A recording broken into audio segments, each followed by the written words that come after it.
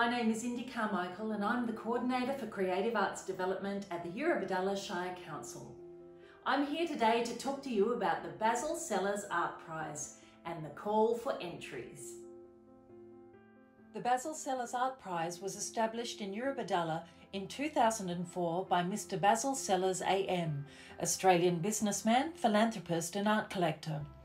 Starting life as a modest prize for South Coast regional artists, the Basil Sellers Art Prize has grown to be a significant $20,000 award for New South Wales and ACT artists of excellence. Winning works are acquired by Mr Sellers and become part of his prestigious private collection. In 2018, Eurobodalla Shire Council sponsored a new award of $5,000, honouring a local entry into the prize, and this work is acquired for the Council's permanent collection. So, how do you enter? Well, I'm glad you asked.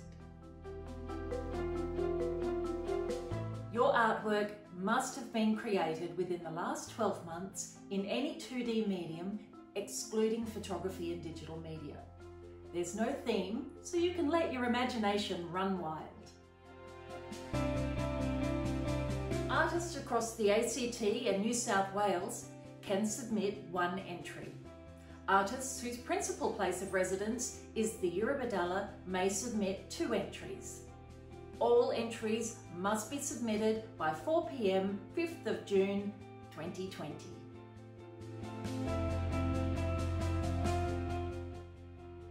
Judging takes place in two phases.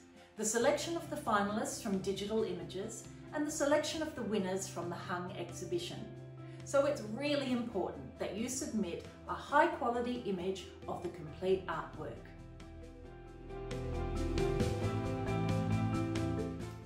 The Basil Sellers Art Prize opens with the announcement of the winners on Friday 9th of October and the exhibition runs until 9th of November 2020.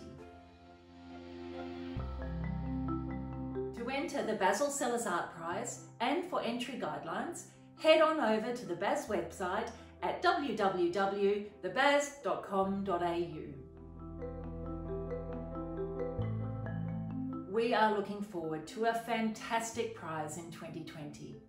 We can't wait to see your entry and we'll see you at the BAS.